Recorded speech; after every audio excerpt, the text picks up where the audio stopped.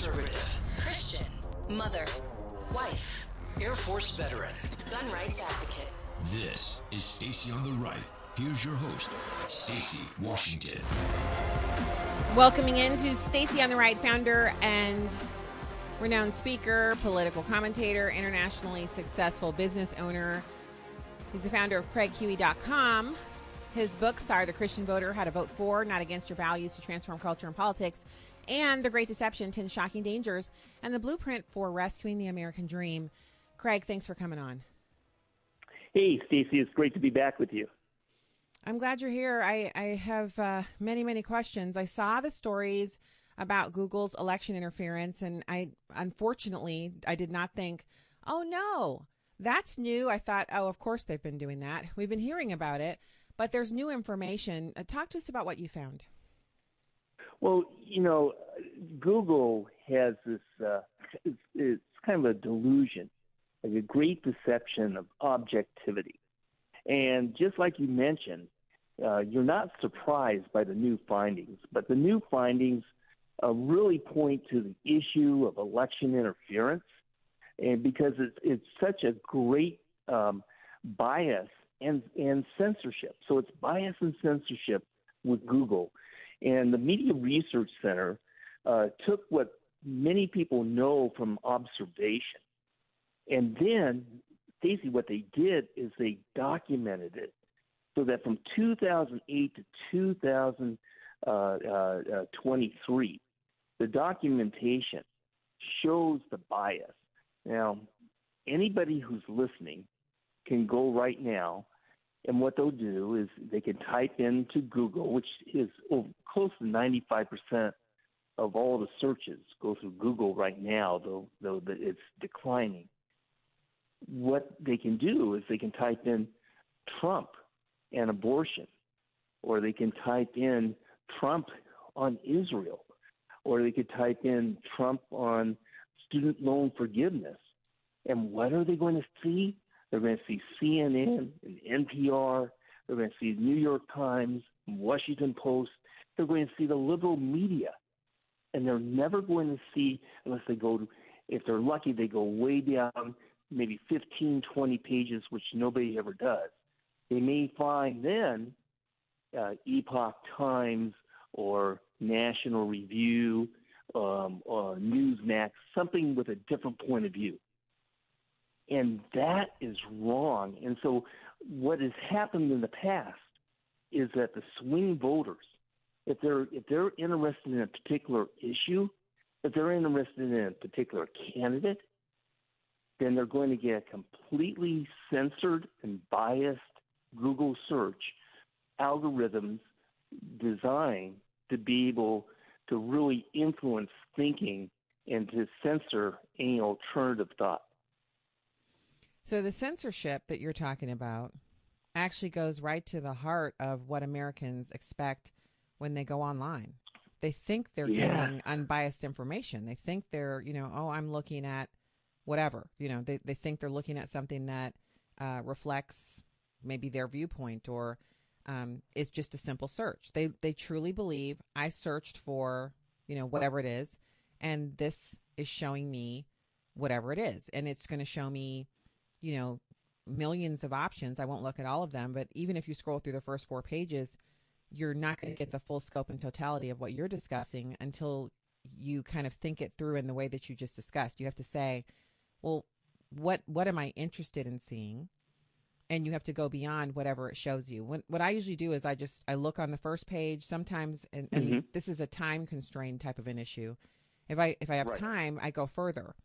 But most Americans don't really have time, and they don't feel like going further.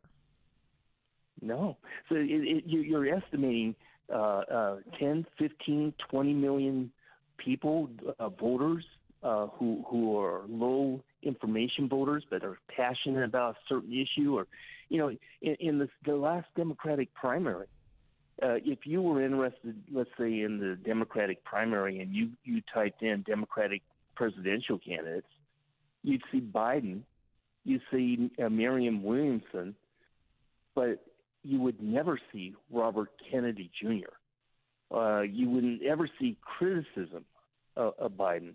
If you typed in the Republican presidential uh, uh, campaigns uh, when DeSantis and the others were running uh, against Trump, you know what comes up? What came up at that point?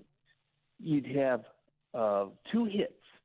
Williamson, Marianne Williamson would come up under the Republican presidential campaign, and Will Hurd, the congressman who had less than 1%.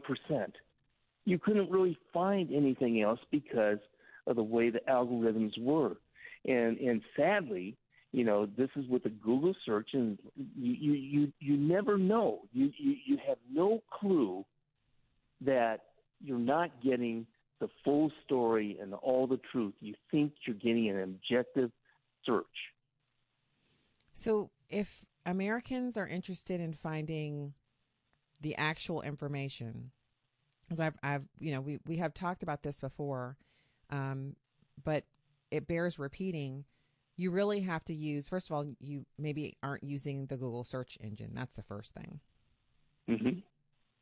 Yeah, you, you, you know, it is really a major problem, because, and it gets very, very complex because you're dealing with Google. You know, I I uh, I have an ad agency, and Stacy, I probably spend close to um, maybe a, a million dollars a year on Google Ads for my clients, and I know Google very well. It's good, it's bad, and it's ugly. And I, I've dealt with them for many years. And because I have uh, a, a political uh, podcast and newsletter, I have seen Google take my content and vanish it from Google searches. Uh, they they have YouTube, and and Stacy, whether you're conservative a Republican, Libertarian, a Christian, you're going to be marginalized on Google's YouTube, and and and they have Gmail. Um, subscribers to my newsletter with Gmail, very few ever get it if they give me their Gmail uh, email address because Google tries to suppress. And so it is a problem. And until there's competition, from somebody who can give more objective information, we do have a major problem here in America for this upcoming election. Now, the good thing is that the Google empire is kind of crumbling, and whether it'll crumble, who knows? But AI and and their Gemini project of AI has has been so embarrassing and so prejudiced, and people have seen through it. They've had to pull it off, and what's happening is uh, Microsoft and, and ChatGPT, that now is starting to get so many people using those searches, they're moving away from Google. If we can get competition going, maybe we can start seeing some changes, but it's not going to help in the 2024 election. The only way we can shine light on that is with uh, Congress and Mike Johnson having, you know, a a spotlight on what they're doing and an expose of that and put pressure on them to stop doing what they're doing. Yeah, when you talk about the newsletter, so the only way around that is if the person who's subscribing to your newsletter they're not using a Gmail account. That's correct. It, it, it, it used to be I had no problem, and then all of a sudden I was noticing I get people saying, "Why did you take me off your list? How come I'm not getting the newsletter anymore?" And and uh, all of a sudden, this big decline in open rates, in click through rates. I'm thinking, what did I say? And mm-hmm. it wasn't me. Uh, we discovered it was Google uh, uh, with its Gmail that that that basically uh, was doing the uh, the censoring because their algorithms picked up something in my newsletter that people were getting, and they did not like it. So, to be clear here, we're talking about because we know that Gmail reads all of the emails, right? We know that it does that so that it can pitch ads to us. Um, we're mm-hmm. aware mm-hmm. of that, so it's not like we're you know we're going in blind. Gmail is free, so because it's free, whenever something is free, what we've learned is that means you're the you're the product, you're what's being sold. You're purchase habits, all kinds of different things. They're monetizing that. So knowing that that's the truth, right? We go in with our eyes wide open. We're using the free Gmail service, but it's it's one thing to say you're the product. It's it's one thing to say, you know, we're gonna we're gonna um you know utilize your search or what have you. We're gonna sell your information to advertisers. That that's one thing. It's totally another thing for them to say, hmm. So we skimmed the content of your favorite newsletter and we find it to be not politically correct. Not it's objectionable to us. We we don't like it. So what we're going to do is we're going to prevent you from seeing it. That's a totally another thing, right? Oh, it, it, it's it's terrible. In fact, the uh, it was only um, maybe two years ago, I believe it was, uh, the Republican National Committee tried to uh, do a, a some type of uh, lawsuit against uh, oh, Gmail. Yeah. I remember. Yes, their mm-hmm. their fundraising letters all disappeared. Nobody got them. And the same thing for candidate mailing. If you're a conservative candidate running for office, they're biased. All of a sudden, you know, people who were on the left, the radical left, and pro-socialists, and and they they're running they, their Gmail account. Somehow everything gets through, but the conservative candidate, when they're doing uh, fundraising or or prospecting or you know whatever, the Gmail is is is marginalizing or censoring them. So the real answer here, and I hate to say this because man, do I like my Gmail, right? It's seamless. You get Mhm, the mhm. Google Docs, right? I mean, let's face it. Unless you're a barbarian, these these these products work. they're they're fantastic. Um, but as usual, they're not the only game in town. Microsoft has Right. um, an email thing that you know they don't they don't censor what opens and what doesn't open. Um, they have a free account. They also have you know what you can pay for. They have Yep. document sharing. They, so the technology that we have gotten so hooked on with Google, it's not that it doesn't exist within another company for us to use. It's that we're used to using the Gmail, and you know people usually stick with what they're used to. But in the face of censorship, I don't know. Should should people be switching? That that's a question. Yeah, I think the answer is it's in their self-interest not to have some type of censorship that they don't even see, they don't even know is happening, but it happens. Uh, uh, anything you can do to make sure that uh, what you get, what you want to get, you get. The searches that you make are objective.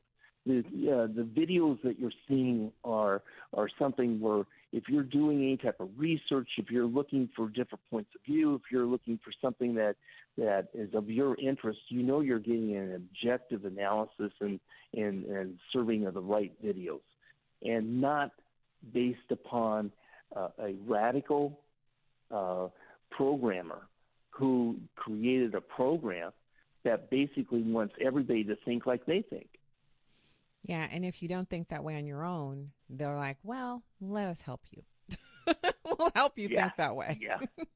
Yeah. We'll cut off your favorite e- newsletters. We'll change your search uh, uh, results, and then you will think like us. How about that? I mean, it, it, it, it's scary. It, it's really Orwellian. It's not right. And and, and when when you add up when you add up the uh, uh, conservatives and the Republicans and the Christians and the Libertarians, that's a huge part of Google's business. Their revenue model is built upon the very audience that they're trying to uh, suppress information with and be able to interfere with the elections. And uh, and yet people just ignore it and they just go on and continue with what they're doing. So if if Google starts seeing financial setbacks, they may never change, but they might. Uh, uh, uh, and and at the same time, uh, uh, a business uh, competitor, if they start getting new people who are weighing objectivity, and that's why they're moving to them, you're going to see you know competitive pressures from the free market trying to force a change that we badly need. Yeah, I, I, I, I agree with you. the The most interesting part of this story is that Google works against their own best customers, right? I, I know so Yeah. many people. Every person I know, um, all of my conservative friends have a Gmail account, right? Right. It may not be their only account. They might have. Most people have more than one email account. I mean, I I have friends who still have their old AOL. I, I don't know how those are still working. Like, how is that still? working? But the- you know, they still have those. Um, right. I even saw someone the other day with. We used to have something called SBC Global. Um, hmm that was Southwestern Bell or Southern Bell Corporation. It was it was the phone company, and they had an email that you could sign up for when you uh, signed up for your phone service. And for the longest Right. time, everyone I knew still had one of those email addresses. And a friend of mine, I was actually running for school board. This true story. And she was like a media mogul, but in her past life, when I met her, she was, you know, stay at home mom like me and I was running for school board, and she and she saw my uh, my email account. She said, "What's this? What's this address?" And I was like, "Well, um, you know, it's just the email account I set up when we moved here, and I, I wasn't sure what to call my." E-. She said, "Your email is your first name, last name, and it needs to be a Gmail account." And I said, "Why?" And she said, "Because Gmail is the serious email account for you know for people who are serious. You want people to take you seriously."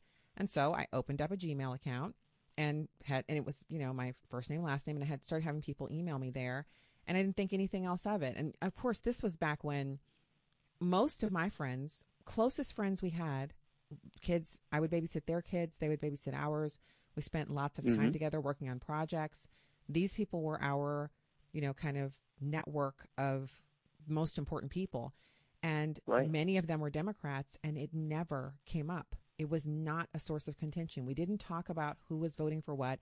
We talked about who was volunteering for the third grade mom social, who had time to pick Sure. up this one's kid, you know, that kind of stuff. So before all of this horrible politicization, um, we all had Gmail accounts because we had just started out, and we didn't worry about the politics of the people that we were, you know, doing whatever with. We just we were regular back then, the good old days. Yeah, it, it really did change. It, quite frankly, uh, uh, the change began around 2008. Uh, uh, uh, President uh, Obama used Google and the other platforms to help him win the election, and did so while the Republicans were completely asleep. And then when he got worried after 2010 and the Republicans were doing well, he was worried about his 2012 election. So he brought in the very best minds and brains uh, from Google and YouTube and the other uh, platforms to create the most powerful marketing machine based upon social media that ever existed. And and uh, and Romney didn't know what hit him. And and uh, and uh, again, the Republicans were asleep. And and but it was 2016 when everyone was caught by surprise because Donald Trump won the election, and the anger and the disgust and the and the and people just crying and so upset. Mhm. And in Google, that was when they said, "We'll never let this happen again." Yeah, but they're not supposed to be able to say we'll never let. it's an election. Um, It- their policies had Yeah. consequences. Their their statements that Hillary Clinton made, if you remember, she called half the country deplorables. She said things Yes. about Americans that kind of precluded her from winning. I think there were people who would have voted for her to be the first female president, but when they heard basket of deplorables, they decided to vote for the other guy. So the reason everyone wants to blame Mark Zuckerberg for you know his inaction and blah blah blah, they they, they so thoroughly um, castigated him in the media and made him out to be the boogeyman. But the fact is, it was really a terrible candidate that they ran because they were looking for a demographic candidate as opposed to someone that Yeah. people really resonated with. That that's Yeah. that's the true story of how that election was lost. Yeah, and uh, but it sparked Google to tighten up its policies. I saw it with ads uh, when I was running digital ads and YouTube ads for different conservatives and conservative candidates. All of a sudden, I kept getting denied. No, you can't do this. I was told that I couldn't go ahead and, and do these type of campaigns, and they kept disallowing them. And it really is, you know, all the things we talked about is a form of election interference. And in a sense, for the favored uh, candidates.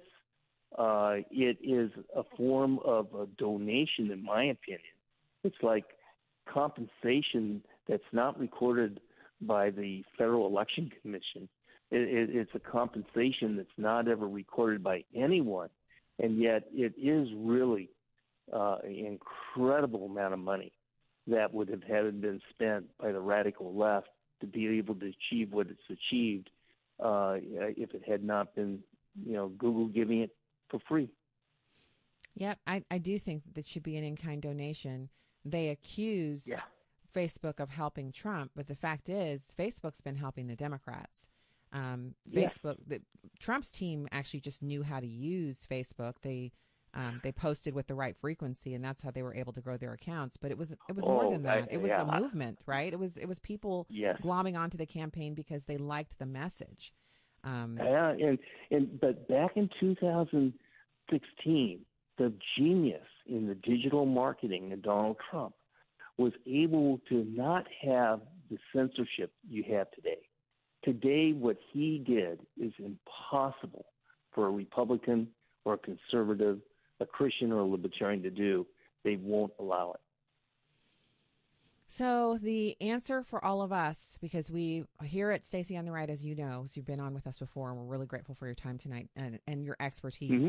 We like to offer a solution, and you know, if we if we have to cover a dastardly problem, um, the kind of thing that might keep you up at night, we like to have a solution that goes along with it, so people can think, okay, you know, I have on my to do list, I'm going to open up an alternative email account and, you know, something that they promise not to sell my data. They promise not to, you know, mm-hmm. make decisions about what I can open or whatever the, the, the criteria is. Because a lot of people have different needs when it comes to email. So we need to, you know, be perfectly clear.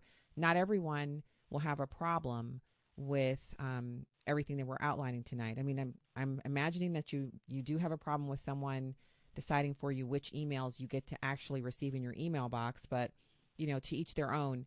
So what you're suggesting tonight is in order to push back on Google's election interference, Americans should have a G, your your Gmail account just is it can't be your primary account, not for anything no, that you're getting I, that's I, political. I would drop my Gmail account, transition to uh, one or more other accounts. I would also go, you know, if you've got an iPhone, pick it up right now uh, take it off Google as a search. Maybe put uh, uh, one of the other ones on there. They're not going to be much more perfect, but they won't be quite as, as bad as Google is. And uh, and you could do a test. Uh, you you know test uh, what uh, what what different ones are, are serving to you. Um, you could you know uh, like I said, many people are transitioning to Chat GPT because uh, it's so much easier uh, to work on a search and and so uh, traditional search uh, like like Google does now uh, they know it that that that's going to be uh, something that only a minority of people are going to be doing. The majority are, are going to be using other ways of search as AI technology keeps uh, improving. And then I, I, I would encourage uh, everyone who is a listener to have influence with our congressperson to be able to say, hey, we want to have uh, a, a committee hearing that Mike Johnson puts into play that will spotlight and document this discrimination and these problems and put the spotlight on it so everybody can see what the truth is. And uh, and you know it may not change Google right now but it will uh, enable people to have a better understanding what the reality is that we're facing today. Better understanding and uh, actually utilizing the choice that is, is our right. It's our right to uh, choose a, an email account that is not engaging in censorship. And so it, it's it's a matter of, and th- this is the hard part, right? I'm, I'm acknowledging mm-hmm. the hard part for everybody it's a matter of saying, okay, I'm putting this on my list for this week. I'm going to get this done. I need to get it done because I, you know, I want to, I want to know that if I'm on an email newsletter list, I'm getting the newsletter. Um, this is the world we're living in now, and we don't like it. This isn't what we chose, but in every case, even when they're trying to choose for us, there's always an alternative. And as long as we still have that, right, as long as we still have options, we should utilize them. A hundred percent. Yeah, I, I feel like you know it's there's always something, right? it's always some new thing. oh, you know, this is the problem, and then we need to do X, Y, and Z. And you know, you're sitting there and you're like, oh, geez, you know, something else I have to do. Yeah, changing emails is not easy. Yeah, yeah, it can be overwhelming. But then again, we've got to remember uh, truth, letting people know the truth, being aware of it ourselves, and let the free market make the changes because the free market will. Uh, but people have to make some hard choices. And I would say, to whatever extent you can, go to the conservative platforms, you know, whether it be X or any of the others. Uh, uh, and and as far as uh, uh, anything to do with Google, and YouTube, and Gmail, and Google News, time to go somewhere else. Yeah, you have options. Um, it Yeah. can be a bit frustrating, and so you know, please don't feel like we're sitting over here going, "Oh, it's going to be so so simple and so easy." Maybe it's not going to be simple and easy, but it will be something that you can look back and say, "Okay, you know, I did what I could." It isn't, and Yeah. that that's one of our big issues is we're sitting around kind of going, "Well, what can I do?" It feels like a lot of the stories that we're listening to, the problem is at the federal level. You, you need an election to do something about it. This one's nice and easy. You're opening up another email account and you're making the transition to it. And then you can leave your Gmail account open and have start start changing your email address with the different places that you get newsletters from just as a test. Just test it out. See if Right. newsletters that you've signed up for that you haven't seen in a while. You know, you know how this works. Now that we've talked about it, there'll be people who are driving along and they're going, "Wait a second, I did sign up for you know Kari Lake's email list." And I haven't seen an email Yeah. from that in I don't know how long. And then what they'll do is they'll right. go look in their email box and go, hmm, how could I have missed every single newsletter that she sent out? And before you know it, they'll realize, oh, I'm, you know, I'm a part of what they were discussing. And then that might be your cue to make a change, you know, sign up for her newsletter from an account that um, is not Gmail linked, you know, not a Gmail uh, email address, and then see if you get it. And if you get it, then you know you were a part of what we're discussing tonight, unfortunately. That's right. Uh, it's a simple test. You can pr- uh, prove it yourself. You can prove the, the, the bias uh, by simply doing any Google searches right now. You can tell uh, uh, with Gmail, get another uh, email provider and uh, see you're going to be getting the things you want, and you'll see that the things with Gmail are disappearing. Hmm. And then once you've done that, you can feel free to uh, shoot shoot an email over at the contact form over at stacyontheright.com. And um, I'll be right there with you. I'm gonna I'm gonna test it out too. Although I'm not a huge newsletter person, I'm only signed up for a few. But I often it, it's the same thing for me. I work and I'm I'm looking at email for work. And so there'll be days that go by before I realize I haven't looked at something recently, and I'll go back through my email and search for it. Um, and so I, I think, you know, for all of us, it's a wake up call. It's an opportunity to do something about some of all these things that are, you know, currently bothering us. Um, so, yeah, definitely check it out, folks. It's so good to have you here tonight. And I'm so glad that you are bringing these stories to us. And I want to point everybody to your information. You have craighuey.com, craighuey.com. Thank you so much for joining me tonight. Stacy, it's been great to be with you. Thank you so much. All right. You're welcome. Talk to you soon. And when you go over to craighuey.com, he has voter guides. He has a presidential poll that's available. These are all clickable. And he also has information there. You can sign up for his newsletter. You can buy his book, one of his books. He has many books, actually. Um, so check him out. It's craighuey.com.